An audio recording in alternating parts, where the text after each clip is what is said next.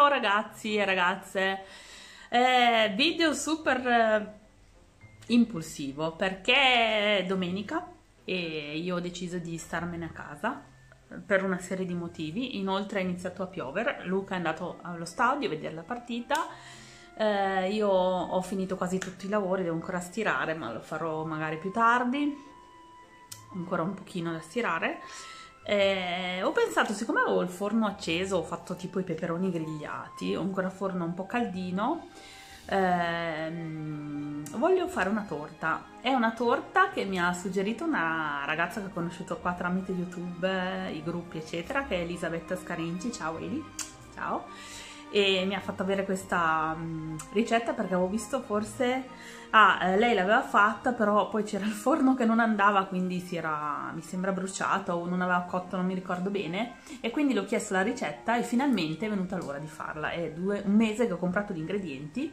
ma non l'ho ancora non l'avevo ancora fatta.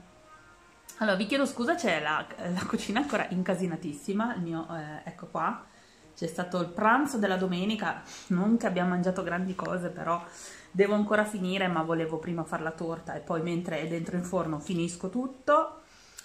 Eh, allora, vi... dunque, questa torta si chiama, e qua c'è un lapsus, è una torta di Spoleto, è famosa nel carnevale. Oddio, non mi ricordo il nome, lo metterò nel titolo, che figure. Ovviamente, seppure due mesi che ho comprato eh, gli ingredienti, non, non, ho tutto, non ho tutto perché non ho il liquore all'amaretto, anzi no, aspetta, vado a vedere. E no, purtroppo non ce l'ho, e quindi niente. Allora, ingredienti, 4 uova, 300 g di amaretti, farina 2 cucchiai, zucchero 6 cucchiai, 50 g di cacao amaro, io uso questo della Lidl. Questo qua. Mezzo litro di latte fresco. La buccia di un limone che io ho già sgraffignato. Ecco qua un limone non trattato possibilmente. E mi sembra che ci sia tutto. Gli amaretti ve l'ho detto duetti ora? Dunque c'è due versioni che mi ha mandato Elisabetta. Una quella credo tramandata dalla nonna alla mamma ma ho letto tardi che ci andava poi il riso cotto e quindi ciao.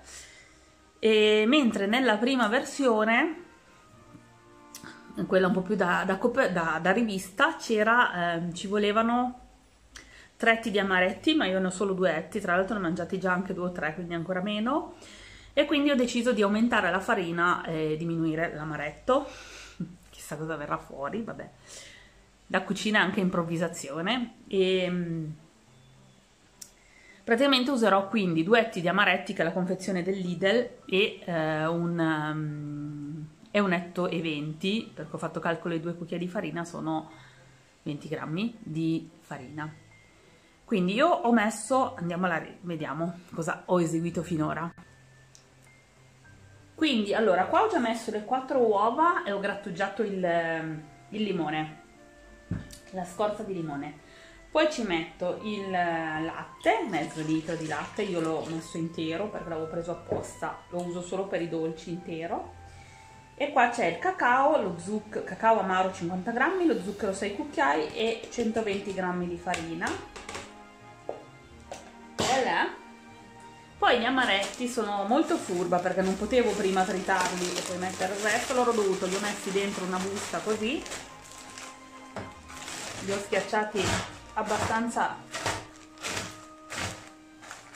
alla bene meglio ma perché voglio che resti qualche parte magari croccante. Quindi non volevo proprio sbriciolarli al massimo. Col mio peso comunque si sbriciolano è un piacere. Ehm Colgo l'occasione per salutare Nicole. Nicole è una, ragazza, una ragazzina eh, che adoro, che si chiama il suo canale Piccola Chef Principiante. Tra l'altro ho scoperto anche che suona il piano, eh, è, è, carina, è simpaticissima, andate a vederla perché io me ne sono innamorata di, quella, di questa ragazzina e le ho detto che... Ma una cosa che penso davvero, ho detto che se avessi avuto una figlia femmina, se avessi mai avuto una figlia femmina mi sarebbe piaciuto averla come lei perché la trovo spettacolare questa ragazzina, davvero. Lei fa le ricette, fa dolci, fa prevalentemente dolci mi piace, però è molto, è molto carina, secondo me farà molta strada quella ragazzina lì. E su Instagram è Izzy Nicole, se andate a cercarla. Ciao Nicole, ciao! E dunque, quindi qua ho messo tutto. Nicole non mi sgridare se non sono brava come te perché l'ho fatta un po'... Di solito sono un po' più precisa, invece oggi va così. Vado a dare una girata con il robot. Dopo aver imburrato uno stampo da plum cake, questo non è quello grosso, è quello piccolino, butto l'impasto dentro eccoci qua.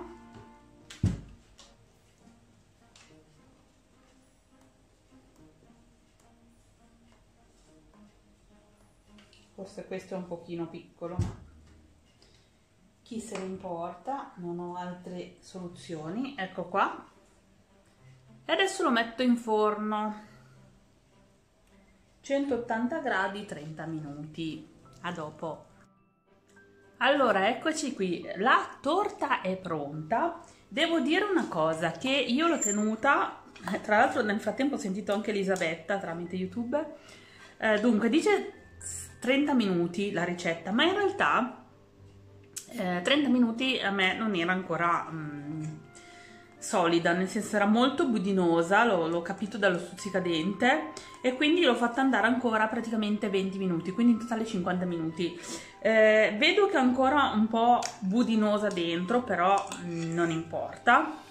Mi sa che alla fine è quasi un'ora che va. Lo poi dai 30 minuti in poi copritela con qualcosa. Questo è il risultato. L'ho fatta dentro la forma del plum cake.